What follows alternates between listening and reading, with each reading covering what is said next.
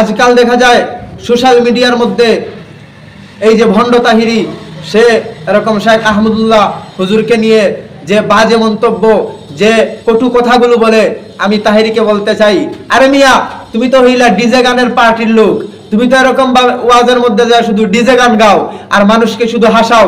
কিন্তু শেখ আহমদুল্লাহর ইলিম উনার আমল এত বেশি, উনার ইলমের, উনার পায়ের কাছেই তুমি যাইতে পারবা না। মনে রাখবা, তুমি কেয়ামত পর্যন্ত উনার বিরুদ্ধাচরণ করতে পারো, ফেসবুকে লেখালেখি করতে পারো, স্ট্যাটাস দিতে পারো, কিন্তু মনে রাখবা, স্ট্যাটাস দিতে পারো ওনার নামে মামলা দিতে পারো, কিন্তু মনে রাখবা ওনার সম্মান আল্লাহ দিয়েছেন। কেয়ামত পর্যন্ত তুমি যদি তোমার বক্তবিন্দ ভণ্ডদেরকে নিয়ে ওনার বিরুদ্ধে লেখালেখি করো, সামান্য পরিমাণ ওনার সম্মান কমাইতে পারবা না। মনে করো একজন এমবিবিএস ডাক্তার, তার কাছে যদি যাও, সেও গ্যাস্ট্রিকের ট্যাবলেট সার্জেন লিখে দিবে, না হয় অন্য কোনোটা দিবে। আর ফুটপাতের ডাক্তারের কাছে গেলে সেও ওইটাই লিখে দিবে।